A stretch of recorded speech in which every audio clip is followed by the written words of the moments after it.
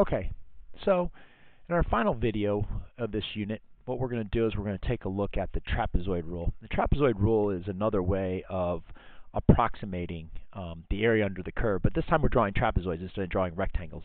And so what I've got is just kind of a funky graph, and what I'm doing is this y sub 0 just means the initial y value. This is the y sub 1, y sub 2. These are all the different heights that are involved, and then finally we end up with y sub 5 the delta x's, these are the heights of the trapezoid. So really what I have is this is like this is the height, these are my parallel sides, and then this is kind of the diagonal line or the, the angled line that connect those heights, and so that's my trapezoid. And what we do is we apply this we apply this formula. It kind of looks more complex than it is. Uh, the trapezoid rule with n number of trapezoids is the upper limit minus the lower limit over 2n be it's 2n because remember that for the area of a trapezoid, just kind of by a side note, the area of a trapezoid way back when you learned it in geometry is 1 half of the height times base 1 plus base 2. And the height in this particular case is the delta x.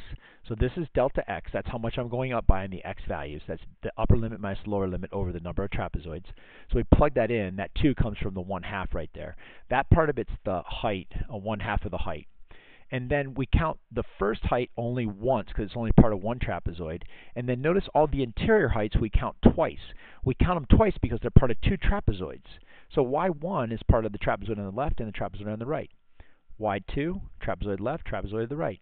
We keep on doing that until we get to the last trapezoid, and then on the last trapezoid we only count that height one time again because it's just part of this last trapezoid. That's it. We add up that area. Again, if the delta x is a constant, or the height is a constant, you can apply this formula. Oftentimes on the AP exam, they'll let this delta x not be a constant, and then you just find the area of each trapezoid individually. That's all you got to do. That's going to approximate the value of this integral from a to b of f of x dx. Let's take a look at an example of that, and I'll, I'll crunch the numbers on this one for you. So let's say we have this uh, this equation here. I think, yeah, I think this is the same one that we did in our previous one think it's this. It's the integral from 0 to 3 is 16 minus x squared dx. And in this particular case, 1, 2, 3, 4, 5, 6 trapezoids. n equals 6 trapezoids. First thing you can find is delta x. That's going to be your height. It's going to be 3 minus 0 over 6, or 1 half. And that means that this is 1 half, and then that goes up to 1, and so on and so forth. And so the way it looks is this. Um, it's going to be um, well, if I apply the formula, trapezoid 6, it's going to be 3 minus 0 over 2 times 6. That's the way I wrote it out before. And then it's going to be f of, my first f value is going to be 0. And then 2 times f of 1 half, because that's an interior value. f of 1 half is part of that trapezoid. If I number them in that trapezoid, that's part of 1 and 2. And then 2 times f of 1 2 times f of 3 halves, 2 times f of um, 2, 2 times f of 5 halves, and then finally f of 3, which is the last trapezoid, It's just that last one. If I number this, this is 3, this is 4, uh, this is 5, and this is 6. Oh boy. They're trying to shut me out of here, but I'm not going away. So uh, these trapezoids, that's my six trapezoids, notice that this one on the height of number 3 right here, f of 3, that's just part of that one trapezoid. So if I work this down, this, this part right here is going to be 1 fourth. Um, if I plug in f of 0 into that, I get 16. That's the first height right there. Plus 2 times f of 1 half. Oh, I got to get back to my calculator. Let's see if we can just do this in my calculator. Uh, maybe not. That's going to start at 0, go up by 1 halves. Okay. So it's going to be 2 times 15.75, 2 times 15.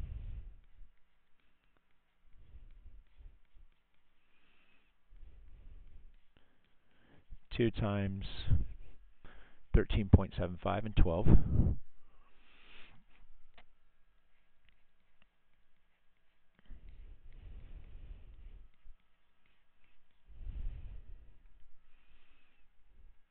2.9 times 7, 5, and then 7.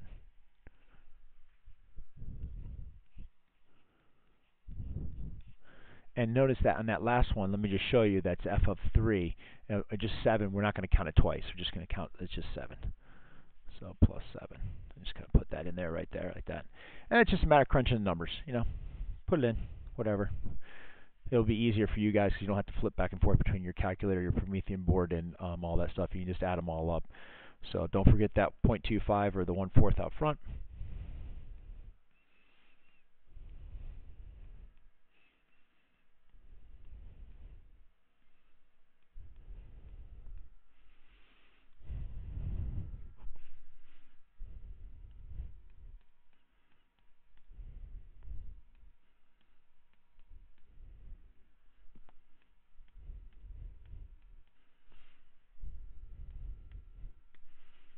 It's about 38.875. Notice that's a little bit of an underestimate. I think the exact value of that was uh, 39. It's a little bit of an underestimate, but it's getting closer and closer.